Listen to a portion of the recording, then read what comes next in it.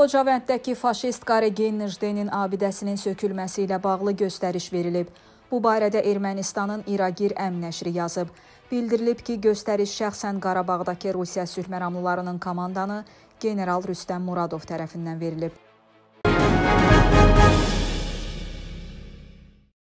Azərkosmos Açıq Səhmdar Cəmiyyəti Kaspi Qlobal Məhdud Məsuliyyətli Cəmiyyətinə qarşı məhkəmə iddiası qaldırıb. Məhkəmə baxışı bu gün 7 may 2021-ci il tarixində Bakı Kommersiya Məhkəməsində hakim Leyla Əliyevanın sədrliyi ilə baş tutacaq.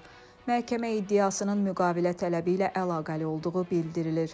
Qeyd edək ki, məhkəmə iddiasında borclu olaraq göstərilən Kaspi Global MMC-nin direktoru, Prezident Administrasiyasının keçmiş şöbə müdiri Əli Həsənovun oğlu Şamxal Həsənlidir. Hüquqi ünvanı Bakı şəhəri Səbail rayonu Fikrət Əmirov ev 1-də yerləşən Kaspi Global MMC 27 iyul 2011-ci ildə dövlət qeydiyyatına alınıb.